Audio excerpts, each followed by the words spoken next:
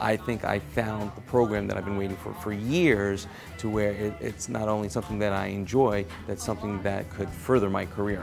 I'm a high school teacher in South Florida. I teach newspaper and design for the last uh, 15 years. Um, I'm part of the Mass Communications web design program. Uh, like I said, I've been uh, doing layout design, teaching layout design to high school students for the past 15 years, and I've taken the skills that I've gained more so than what I've been teaching back to the classroom and teaching them these great skills and then producing uh, greater products uh, that are out in the community.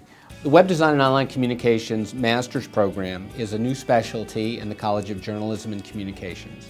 It's a two years professional master's program that will allow people to take classes while they continue to work or raise families or live their lives. There's no need to relocate to Gainesville because all of the classes are taught online. I was looking for a program that incorporated graphic design and programming all in sort of a communications degree. One of the things that I've really liked about the program is that I am able to take something that I did in class last night and apply it to what I'm doing the next day at work. It's exciting because this is not a thesis degree. It's a portfolio degree in which students are creating and posting their work online available for future employers to see. Our classes uh, all take place during non-business hours so students can work attend classes, and complete their master's degree on a part-time basis within two years. The program that we have here in the web design program is very helpful. It's interactive. You're one-on-one -on, -one on a professor.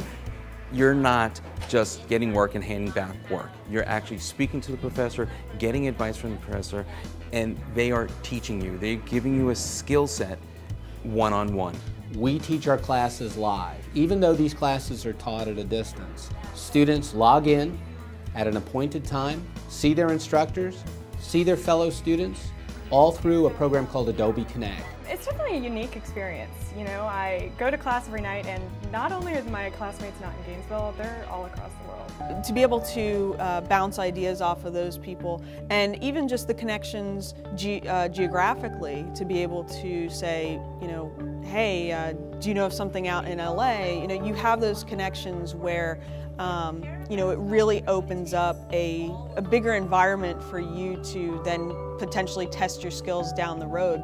We know that lots of nonprofits and businesses and organizations want to update their methods of communicating with their clients, with their customers. This program will allow us to train people who can go to work for those companies and nonprofits and help create beautiful, effective websites.